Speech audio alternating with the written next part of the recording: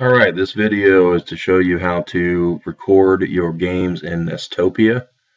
To do this, uh, before you connect with your opponent, you would open up Nestopia and then go to File, open up your ROM.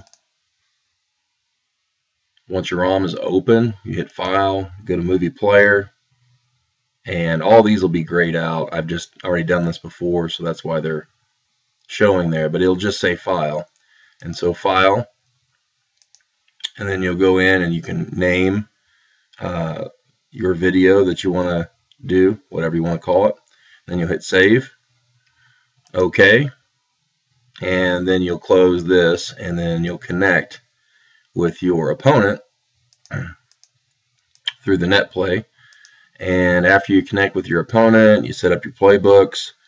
Um, you then, while you're connected and have the ROM open, so I'll open the ROM back up, you will then go to File, Movie Player, and then you'll have the record option. Uh, play, fast forward, all this stuff won't be there, but the record option will be there, so you'll hit record.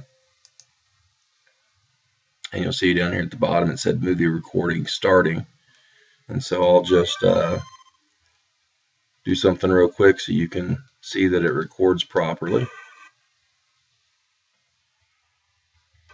Take the kickoff out of bounds.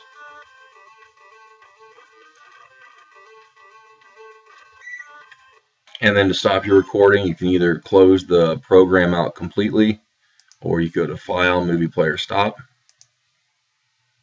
And then I'll just close this out.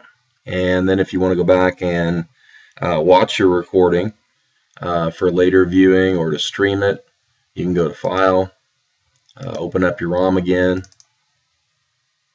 and then go to movie player find the file uh, that you um, find the file that you were using hit OK for the video and then go to movie player and hit play.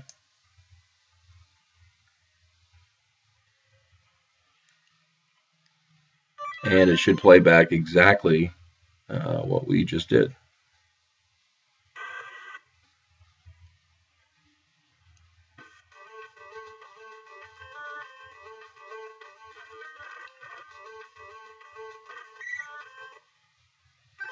And there you go.